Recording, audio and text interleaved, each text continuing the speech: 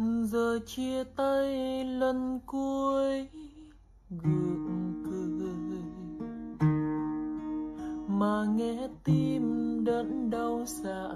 지난해 봄수카 이용자들은 벚꽃 여행으로 송도 센트럴 파크를 가장 많이 찾았다. 주식회사 수카는 차량의 정차 데이터를 기반으로 지난해 이용자들이 가장 많이 찾은 벚꽃 명소 10곳을 공개했다고 13일 밝혔다. 이번 정차 데이터는 전국 벚꽃 명소 기준 반경 1km 이내 30분 이상 시동을 끄고 정차한 차량의 위치를 기반으로 추출했다.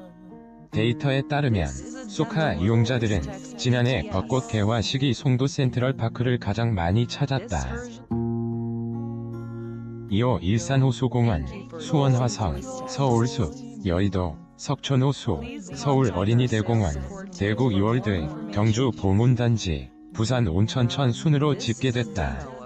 코로나19 이전인 2019년 벚꽃 개화 시기와 비교해 지난해 정차량이 가장 급등한 벚꽃 명소는 청주 대청댐으로 172, 다음으로 정차량이 급증한 곳은 서울숲 170, 진해해양공원 150, 경주 보문단지 138, 울산 무거천 133, 광주 중해공원 118, 송도 센트럴파크 110, 서울 어린이 대공원 112, 춘천 공지천 112, 일산 수공원 103 순으로 나타났다.